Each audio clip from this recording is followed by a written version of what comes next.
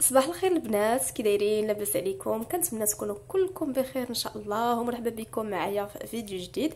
اليوم إن شاء الله غنشارك معكم الروتين ديالي الصباحي. غادي نوجد معكم شهيوات شهيوة ديال الغدا اللي كتكون ديال الزربة وبسيطة جدا وكيبغيوها حتى الوليدات الصغار. المهم هانتوما معايا حتى تشوفوا تتمه الفيديو. افتتحت اليوم ديالي بالقرآن الكريم المهم في القرآن الكريم كندير على الاغلب سورة البقرة. هكا كنسموعها كنتصنت ليها وفي نفس الوقت كنحاول نحفظ آه، مع السمع. ومن بعد حضرت الفطور ديالي كما كتشوفوا آه، برد ديال اتاي الخبز وزويتة مع الفرماج. أنا هذا هو الفطور ديالي ديما الخبز مع الفرماج والزيت. وشوية ديال الفواكه و petit pain كان عندي. المهم قديت الطبلة بحال هكا بدلت شوية الروتين. ماشي ديما نفس الحطة نفس الحاجة. المهم على هذا الشكل هذا والماء بطبيعة الحال لأنه مزيان بزاف في الصباح. من بعد دزت الكوزينة. المهم جمعت هاد المعينات ديال الفطور اللي فطرنا فيهم اللي فطر اللي فطرات بنتي ومشات للمدرسة. وحتى أنا داكشي اللي فطرت فيه خصني نحيدو عليه هو الأول قبل ما نبدأ ندير أي حاجة أخرى.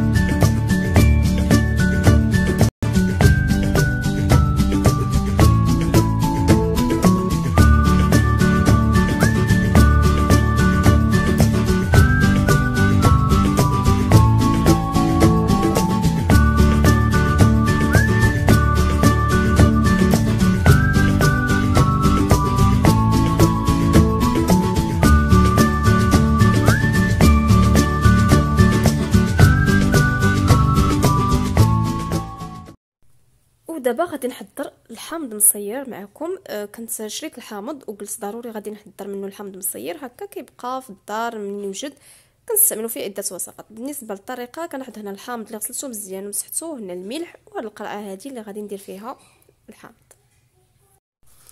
كناخذ قطع ديال الحامض كندير فيهم هكا آه، جوج قبات هكا بالسكين كما كتشوفوا بهذه الطريقة.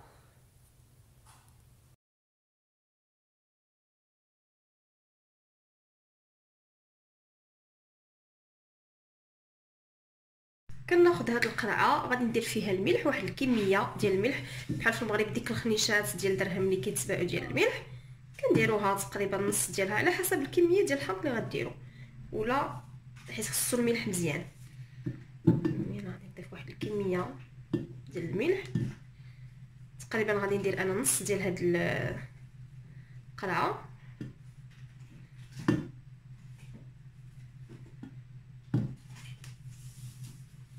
المهم منين تذوقوه يجيكم المذاق ديال الماء آه، اللي غادي نديرو هنا بحال المذاق ديال الماء ديال البحر. باش تعرفوا بانه الكمية اللي درتو ديال الملح كافية ولا لا. دابا غادي ندير فيها الماء. وها هو الحامض كما كتشوفوا آه، في هذا الإناء. دابا غادي نسد عليه وغادي نخليه نسد عليه مزيان. وغادي نخليه واحد المدة ديال 20 يوم تقريبا حتى حتى لشهر. يعني حيت دابا الجو بارد يعني هذه هي المدة باش كيقدر يوجد لينا الحمض مصير. فصل الصيف ملي كيسخن الحال في واحد المدة ديال 15 يوم 20 يوم تقريبا كيوجد. المهم إن شاء الله في فيديو قادم إن شاء الله من هنا واحد الشهر ولا 20 يوم غادي نشارك معكم الحامض مصير منين غادي يكون واجد إن شاء الله. ولكن هذه هي الطريقة الصحيحة حيت أنا كنت مجرباها ديجا واحد المرة. وهذه هي الطريقة باش كي كيجي الحامض مصير هو هذاك حقه طريقه واللي بغات تجربو راه تقدر تجربو من دابا وتخليه باش يوجد ليها من هنا لواحد واحد 20 يوم ولا شهر تقريبا. ودابا غادي نحضر وجبة الغداء المهم. غديوه ديال الزربة حيت كنتغطى غير أنا وبناتي يعني غير كندير شي حاجة بسيطة. غادي ندير الطورتيه أه بواحد الطريقة اللي كتجي لذيذة بزاف وبدون غير في المقلاة ممكن ناخذ المقلاة هنا اللي كندير فيها شوية ديال الزيت بعد كناخذ بصلة صغيرة مشلطة. كنديرها تشحر شوية مع هذا الزيت بعد غادي ندير التوابل.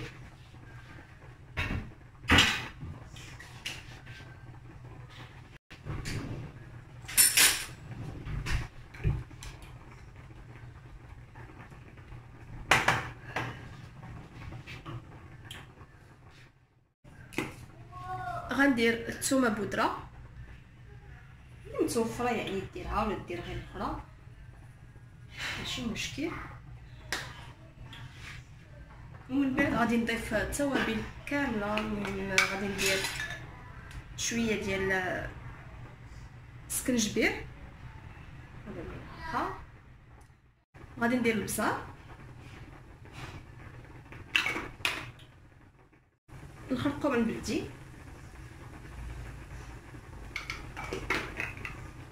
أو الكركم المهم بالنسبة للمقادير غادي نخليها مكتوبة في صندوق الوصف باللغة العربية الفصحى كذلك. بالنسبة للأخوات اللي كيطلبوا مني دائما نهضر باللغة العربية الفصحى آه كتجيني شوية. يعني القناة ديالي مغربية وكنحسن يعني كنهضر بالعربية بالمغربية كتجيني آه أحسن. وبالنسبة للأخوات الأخرين يعني بالنسبة للوصفات اللي كيطلبوا مني نكتبهم نقول لهم باللغة العربية. آه غنحاول بطبيعة الحال نبقى نبسط لكم الأمور وكذلك غادي بغيتو نبقى نكتبهم لكم في هكا على الشاشة نكتبهم لكم وكذلك غادي تلقاوهم في صندوق الوصف إن شاء الله. وأي تفسير أو أي استفسار عليكم غتخليوه ليا في التعليق المهم غادي نزيد الملح كذلك.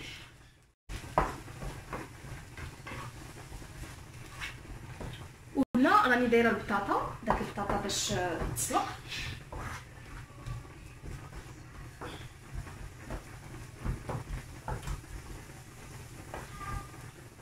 وغادي نزيد الربيع القزبر ومعدنوس.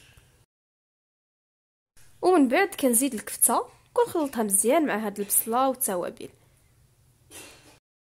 من بعد ما طابت الكفتة كناخذ هاد المقلاة كندهنها بشوية ديال الزيت. كناخذ البطاطا اللي تسلقات من بعد ما صفيتها مزيان من الماء معستها وكنقدها على هذا الشكل هذا. من بعد كنضيف الخليط ديال الكفتة. والبصلة. كنستفو مزيان فوق البطاطس على هذا الشكل هذا. وكنعمر دوك الجوانب و من بعد كندير شوية ديال الفرماج أحمر فوق الحشوة. وعاوتاني كنقاد البطاطس بهذه الطريقة وما تنساوش دهنوا الملعقة بالزيت. صافي هي دابا من بعد ما قديت نقديت الوجه ديالها. دابا غادي نخليها واحد المدة ديال ديال واحد 10 دقائق تقريبا ومن بعد غادي نقلبها باش تحمر من الجهة الأخرى. هي من بعد ما تحمرات قلبتها للجهة الأخرى. من بعد دهنت عاوتاني المقلاه بالزيت وغنخلي الجهة الأخرى حتى هي تحمر بنفس الطريقة. ودابا بغيت نشارك معكم كيفاش كننظموا هاد المناديل هادو ديال المائدة. اللي هما كيعطيو واحد الجمالية المائدة واحد المنظر مختلف. المهم كفكرة فقط كاين عدة أشكال مختلفة. كل مرة غادي نشارك معكم شكل من الأشكال.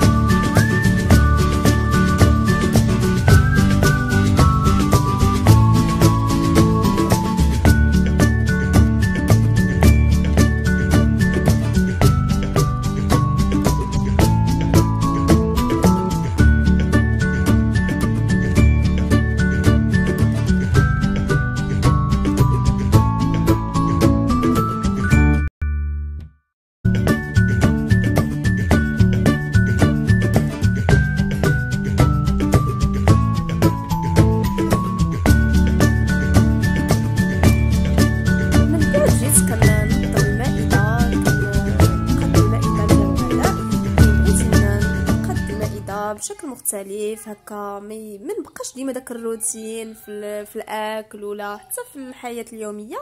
كنغيروا بعض المسائل اللي بسيطة جدا وكنحسوا بهذاك التغيير. فقط كفكرة أه كما كتشوفوا يعني ماشي بالضرورة يكون عندنا واحد الأواني اللي أه غاليين ولا بزاف ديال الأواني ولا شي حاجة. غير داكشي اللي عندكم نقدروا يعني تقدروا تغيروا. اللي عندها شي موينات مخبيهم للضياف تجبدهم مرة مرة. آه غير بحال هاد الأشياء. كما كتشوفوا أنايا مازال ما عنديش الأواني بزاف يعني في الدار آه لا حتى حاجة. ولكن غير بهذا الشيء اللي عندي حاولت نستغلو وندير واحد التقديم مميز للمائدة ديالنا ديال الغداء.